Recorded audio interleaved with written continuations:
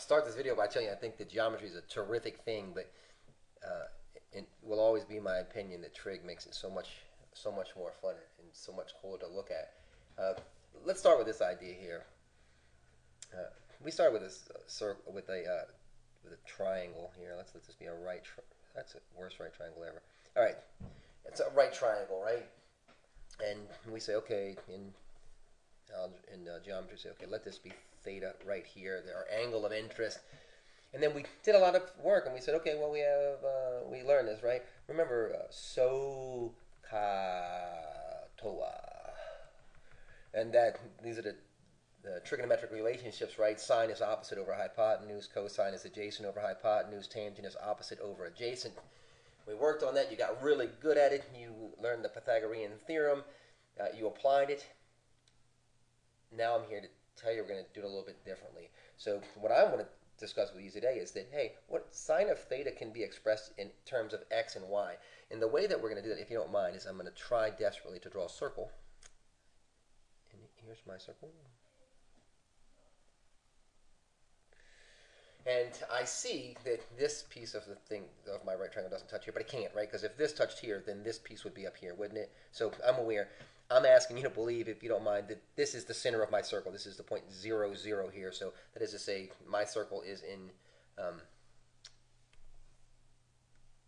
is in standard position. Does that make it any better? Let's pre pretend that it makes it a lot better. And you're like, wow, yeah, that's really clear now. Uh, if not, I'm asking you to pretend some more with me. Okay, so that's kind of the best I can do. But here I have my, I'm arguing with you that my my angle is in standard position. It's in standard position here. And now I'm asking, to look at this differently and say, okay, if this is the point zero zero, then this thing, right, we we have forever we've said from theta you go straight out, you go straight out to opposite. And I'm asking you now, isn't it true that opposite, that opposite, if you look at it differently, opposite is kind of I don't know, the height, isn't it? This is this is a height of zero here, isn't it? And it goes up to this height up here, doesn't it? So I'm asking you to look at this differently and say, oh my gosh, this opposite thing is actually not so opposite at all. It could this can be described as possibly as the y value here, can't it? And if you can see that, we're really seriously well on our way. And I'm, if you're buying all that, then I'm asking you to take a look at this also and say, this is adjacent, right? If this is opposite, this is adjacent. This is always the, the longest side of here is going to always be the hypotenuse, right? So if this is theta, then we would usually say, hey, this is this part right here is the adjacent side, and I'm asking you if you're willing to call this one y are you also willing to call this one x? Right? It will always be true that a point from the center of a circle to its edge will always be the radius. So now I'm going to say I'm going to ask you to believe that instead of calling the instead of calling the hypotenuse the hypotenuse, I'm asking, you can we call it radius? And we're gonna it gets really really good for us. It gets fantastic, terrific for us because what's going to happen for us a lot in trig is that we're going to be on this unit circle and r the radius will always be one and my gosh it just gets good for us so if this is true if this is true here then instead of sine being opposite over hypotenuse now isn't it y over r and I'm saying to you with anticipation of this thing being 1, isn't sine really equal to y? I'm getting ahead of myself a little bit here, right? And then let's move over to the next trig function here. The next, Let's say the next trig function is cosine theta. And we know cosine theta from geometry, cosine theta is adjacent over hypotenuse. Well, this is our adjacent down here, but we recognize now that because of the way it's positioned in this standard position here, that it's the x value. So isn't it true now that it's x over r? with anticipation, if you're believing me, that r, at some point, we're going to start calling r 1, and it's just cosine is just going to be x. And then we go from there, and we go to the tan function, right? We're going to do all six functions real quick.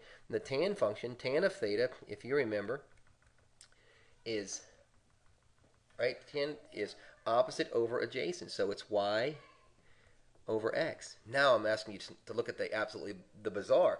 If I'm asking you to believe that sine is that sine is r over y and cosine is y over r just by doing a little bit of math. Isn't it true that tan is sine over cosine? Sine over cosine. I'm just saying, is it, is it possible? Because this is going to get really, really pretty, and when you start to understand this, it it's going to be this amazing jump in the way you understand things. So I'm asking you to kind of um, stick with me on it here. If this is true, then what's the what's the reciprocal of sine? Right? Isn't it cosecant theta? So cosecant theta is r over y. Remember that's if y is not equal to zero because that would give us a domain issue here. The reciprocal of cosine theta, right? Kind of go back. This is something you just have to memorize. I'm, we're going to prove it, but this is also something you have to memorize.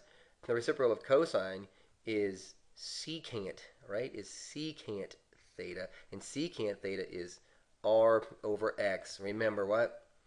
If x is not equal to zero, and uh, this is my favorite one because it makes perfect sense why it's reciprocal. The reciprocal of tan would be cotan. So this is cotan theta. Cotan theta is x over y. And again, if y is not wah, I'm sorry, if y is not equal to zero, this um, may seem like a lot of extra stuff. And if you're taking trig right now anywhere, and you're thinking, I'm just going to forget this, this is stupid. This right here, this is key to what's about to happen. Because we're going to translate this into something called the fundamental identities. And we're going to take those fundamental identities. You're going to me- memorize those things, and we're going to start doing trigonometric um, proofs.